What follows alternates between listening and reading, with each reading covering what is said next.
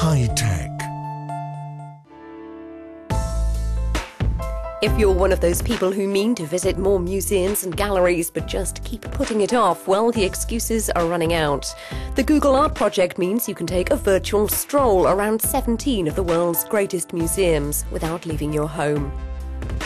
Google used the same technology in the galleries as they did in Street View, Technicians have spent the past 18 months pushing cameras around galleries in London, New York, Berlin, Florence, and several other cities getting 360 degree views of the rooms.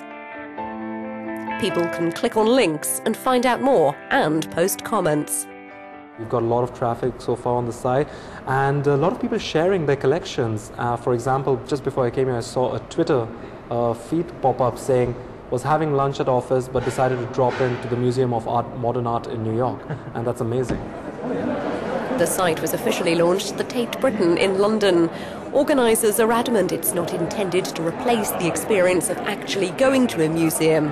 Rather, they imagine it will inspire people to seek out the real thing. Here we are. You have the street view here. You click navigate floor plan and you can jump around the rooms. So if you want to get to the central hall, you can zoom in, you can navigate around, get a great view. Each of the museums chose one artwork to get the gigapixel treatment. The photo capturing technology means people can view an image with 7 billion pixels, which means you can see details not visible to the naked eye.